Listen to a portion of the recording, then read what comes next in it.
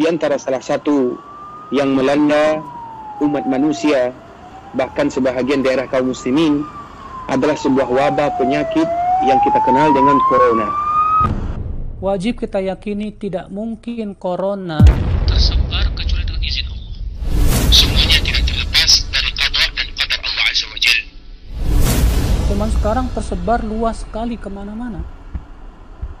Kalau Allah tidak izinkan untuk kelu menyebar tidak akan tersebar walaupun mereka berusaha untuk menyebarnya. Tapi kalau sudah Allah izinkan untuk menyebar luas kemana-mana sampai seperti di zaman sekarang kemana-mana tersebar. Semua dengan izin Allah, bukan konspirasi manusia. وما أصابكم من مصيبة فبما كسبت أيديكم ويعفو عن